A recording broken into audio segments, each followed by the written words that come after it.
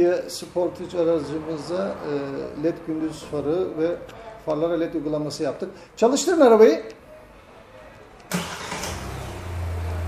Evet gündüz farları canlı yani. Farları açın. Yanında LED farlarımız çalıştı. Farları kapatın. Açın. Gayet güzel bir uygulama oldu.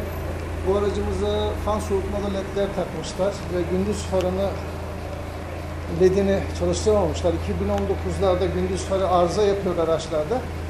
Biz ona bir direnç uygulaması ile o arızayı siliyoruz ve uygulamayı yapıyoruz. Far ayarını yaptık. Far ayarı bizim için çok önemli. Gayet güzel bir aydınlatma oldu. Selektör yapın. Tamam kısalar alın. Gayet güzel bir uygulama oldu. Açın farları. Evet bu güzel olduğu halde beyaz bir ışık veriyor bize.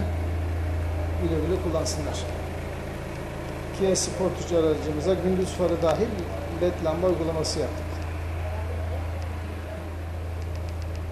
Uygulamanın satış ve montajını yapıyoruz. İletişim bilgilerinden bizimle bağlantı kurabilirsiniz.